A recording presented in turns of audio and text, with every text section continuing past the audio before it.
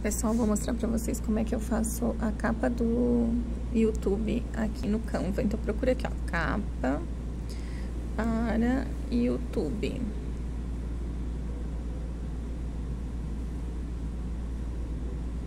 Ó, já vai aparecer vários modelinhos. Ó, que bonito esse aqui do ganhe dinheiro pelo celular. Ó, já gostei mais que a que eu tinha escolhido.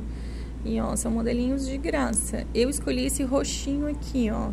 Então, tem estilo vlog, né? A capinha pro vídeo, ó. Esse aqui do chá e rifa também tem um fundinho legal e a fotinho. Tem esses outros. Acho que eu vou até trocar o meu. Gostei desses outros. Ah, quando tem o símbolozinho do dinheirinho embaixo é porque é pago, ó. Quando não tem o dinheirinho é gratuito. Ah, esse aqui que eu tinha gostado é pago. Então, tem que escolher os gratuitos. Eu escolhi aquele roxinho ali, mas você pode trocar a cor também, tá?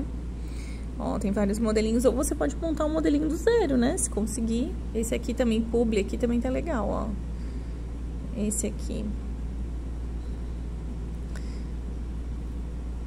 E aí, como é que a gente faz? A gente edita. Clica aqui nessa foto aqui.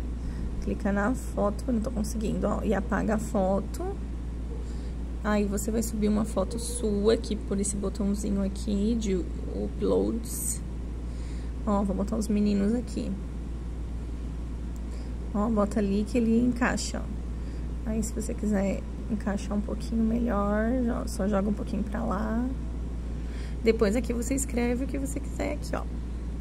Botar teste. Só que aqui o título tem que ser menor, né? Ó, quanto cobrar. Pronto, tá pronta a capa, é só salvar. Na hora que vai pôr no vídeo no YouTube, pode pôr antes o vídeo, depois coloca a capa, não é pra editar a capa no vídeo, é pra colocar a hora que tá subindo lá no YouTube. E depois é legal porque fica o modelinho para sempre. Fica aqui nos seus salvos aqui, ó. Aqui embaixo, ó, modelos. Não, acho que é projetos. Os seus projetos. Fica a capa aqui, ó. Essa primeira. A minha é essa terceira aqui, ó. Eu sempre vou trocando, sempre vou fazendo essa mesma. Eu troco a fotinho e troco o texto. Essa minha aqui é melhor porque cabe uma frase maior. É isso.